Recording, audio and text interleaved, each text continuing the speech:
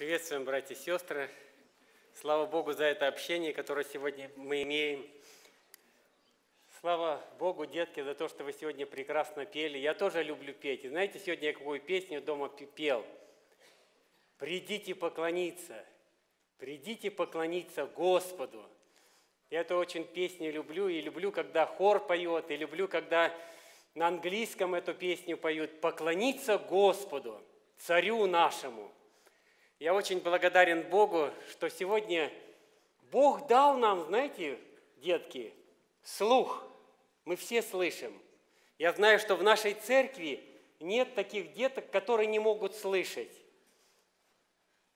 Я как-то, когда приехал в Америку, пришел в одну церковь, и когда пастор проповедовал, то я вдруг увидел человека, который повернулся к залу и что-то показывал руками. Я думаю, что это такое? Оказывается, этот человек переводил для тех людей, которые не могут слышать. И вот в христианском радио, по-моему, это в христианском, где-то на прошлой неделе услышал просто одно слово, когда на этом глухонемом языке, что «я люблю тебя», знаете, как это обозначает? Вот так, когда обнимают, это значит «тебя любит кто-то». Какое-то прекрасное слово, тебя любит кто-то. Знаете, это большое горе, когда в семье мамы с папой родился ребенок, а он не слышит, не слышит, что братики говорят, не слышит, что мама говорит. И как он может услышать, что мама его любит? Как? А бывают слепые люди, которые не видят. Как вот с этими людьми, как тяжело. Как-то мы на работе стояли, и возле школы проходила всегда одна женщина с палочкой, с палочкой и стукала по обочине. Проходя возле этой обочины, а там оказалась канализационная яма, вот эта железка, куда вода уходит.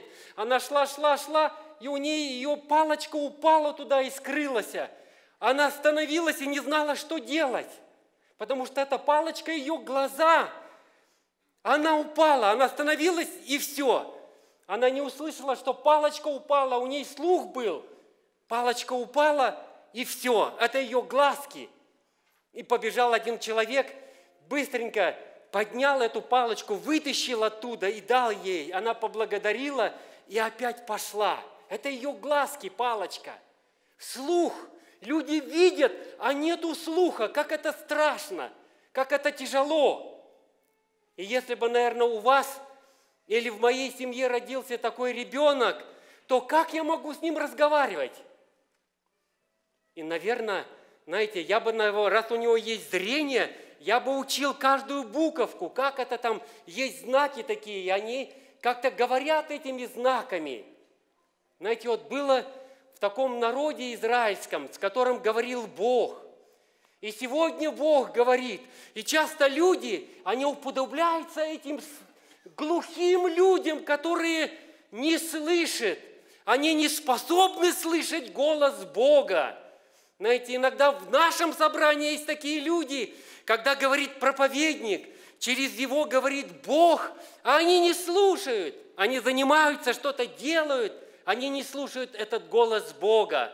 А голос Бога сегодня говорит, говорит к людям – а люди не хотят слушать, а может быть просто заняты и не хотят слышать голос Бога. Сегодня у нас особый праздник – это Рождество Господа нашего Иисуса Христа. Знаете, я хотел прочитать вместе с нами, вместе с вами одно место, которое записано в книге Библии. Это послание к евреям, первая глава, первый второй стих. Смотрите, как здесь написано. Бог многократно, значит, много раз, многообразно, разными методами, говоривший издревле отцам, как он говорил? Через пророков. Пророк – это тот, которого Бог избирает, через которого Бог говорит к людям – и были такие, вы знаете таких людей, пророков, которые были? Знаете, знаете, вот здесь говорится, Бог избирал таких людей. И эти люди, они обращались к израильскому народу. Я хотел бы назвать свое слово «чудесная весть Рождества». Как эту весть донести? Для тех, кто не знает, для, тех, для того, кому очень трудно объяснить это. Знаете, в израильском народе это вся его история, когда Бог говорил к этому народу. Знаете, они часто не слушались, они становились глухими голосу Бога. А Бог хотел явить себя. Они не понимали Его. Он желал, чтобы они знали Его. Он желал, чтобы они любили Его. Он желал, чтобы они поклонялись. Знаете, сегодня можно видеть Бога, как Бог говорит.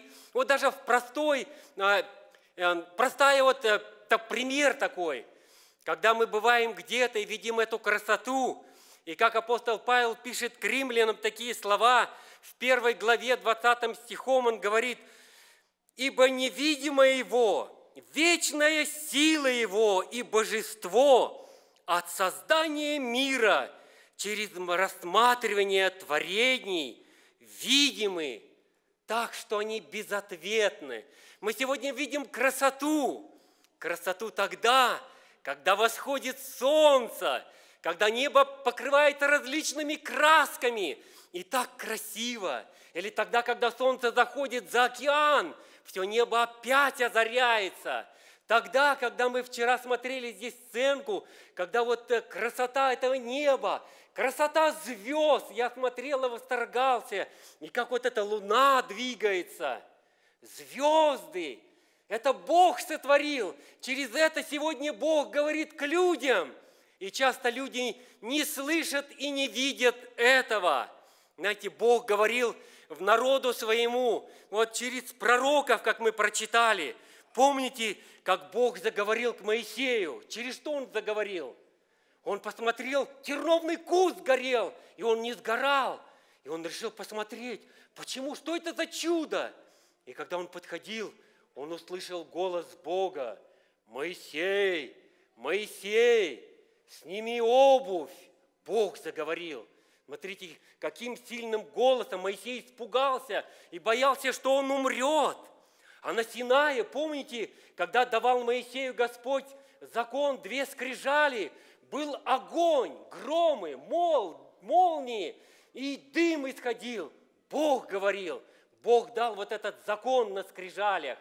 Знаете, и весь народ трепетал пред Богом, когда Бог говорил. А в другом месте Илья, пророк – знаете, Бог ему говорил тихим голосом, Моисей, что ты здесь? Знаете, здесь тихо он говорит, Бог через своего пророка. А вчера мы слышали, помните, когда ангелы стояли, возвещали эту весть, когда э, Исаия смотрел, ему это было видение, как будто Бог пришел в храм, и его одежды касались этого храма, и там были ангелы, которые закрывали и махали крыльями, закрывали лица свои. Сегодня, вчера вы слышали вот эту прекрасную историю.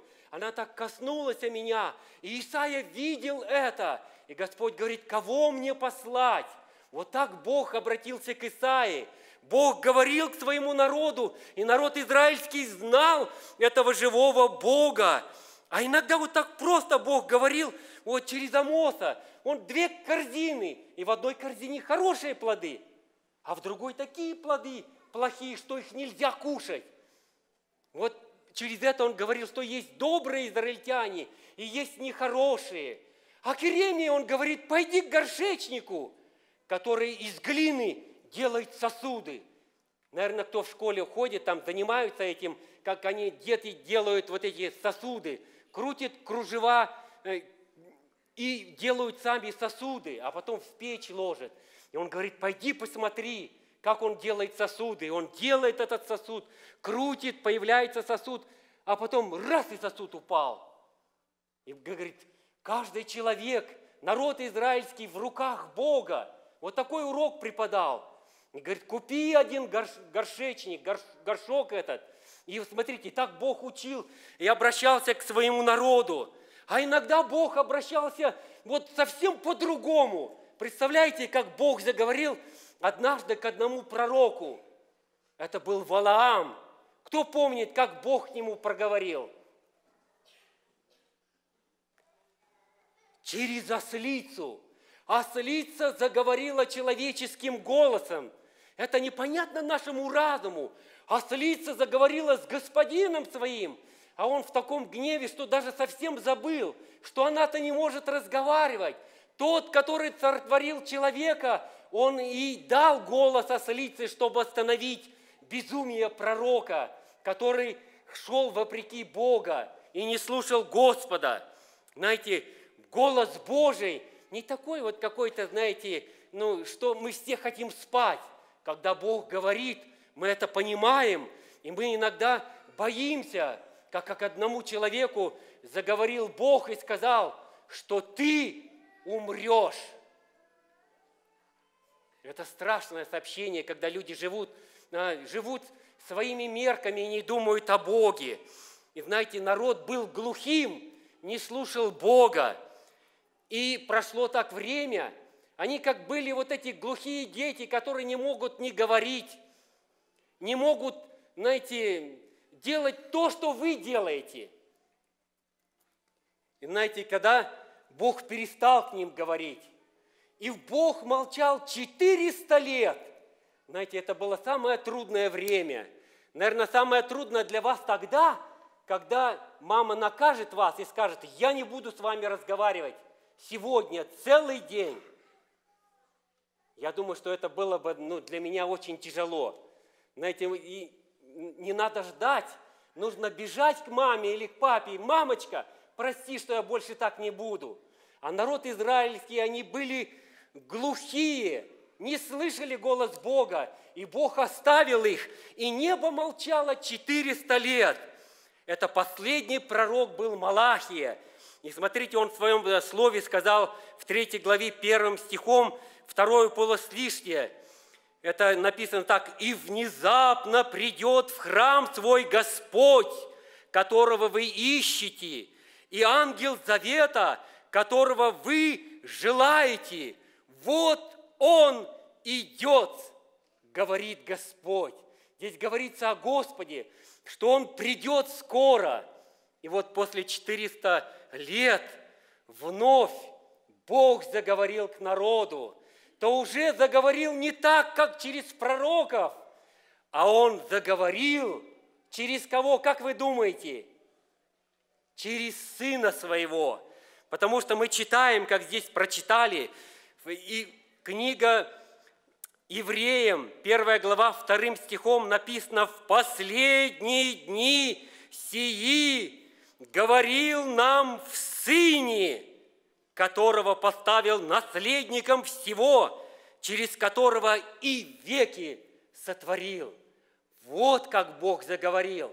Как Он заговорил? Знаете, тот, который сотворил этот мир, как мы вчера видели, вот эту землю, звезды, луну, который творил это, и он вдруг стал человеком. Слово, которая говорила, да будет свет, да произрастит земля, да будут моря. Слово стало плотью. Он стал таким маленьким, как маленький ребенок. Он родился, стал как простой человек. И мы читаем, Бог говорил в Иисусе Христе, чтобы люди поняли замысел Бога, что Он как любит нас, грешных людей. И мы видели славу Его, славу в словах Его.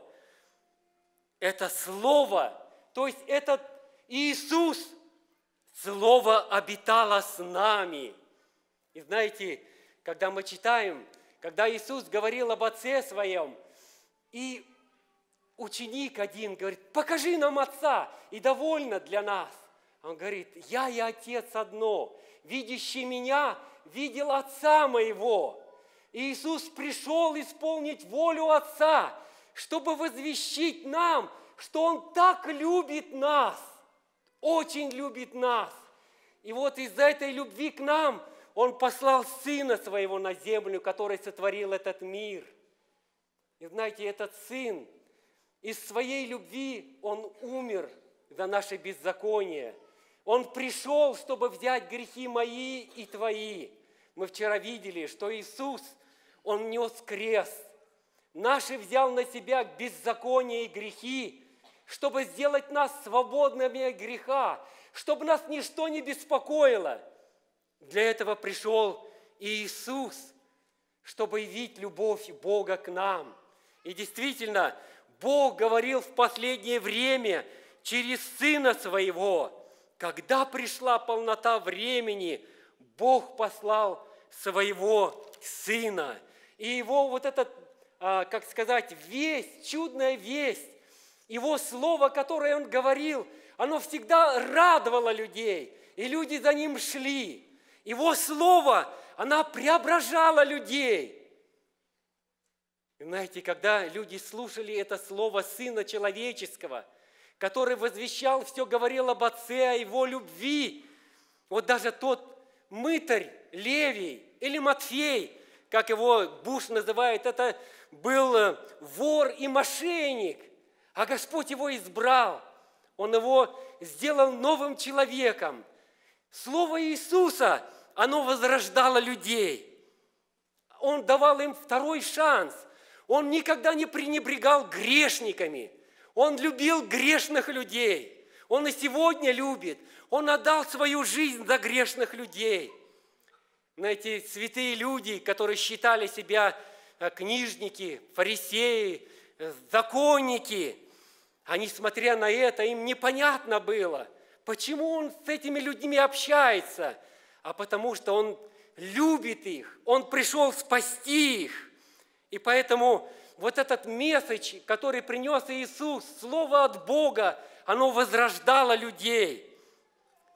Он пришел сказать эти слова, которые мы читаем, что Бог возлюбил так мир, что отдал Сына Своего Единородного, чтобы всякий верующий в Него не погиб, но имел жизнь вечную. Он принес, Он принес свою жизнь и отдал ее за нас, чтобы мы имели счастье. Знаете, ну какая-то вещь, она всегда имеет свои последствия. Знаете, тогда, когда человек заболел, и он чувствует что-то не так с ним, он идет к доктору, и доктор рассматривает внимательно его, смотрит, изучает, проверяет анализы, а потом говорит, наберитесь терпения и мужества. У вас болезнь, рак. Вот это вот э, сообщение, я думаю, что оно убивает человека. Человеку становится страшно. После этого сообщения жизнь человека полностью меняется. Почему? Потому что ему остается жить не так долго. И вот эта вот весть заставляет человека пересмотреть свою жизнь. И знаете, теперь нужно готовиться к другому – у него были свои планы. Знаете, строил он, и вот эта весть, она изменила его жизнь.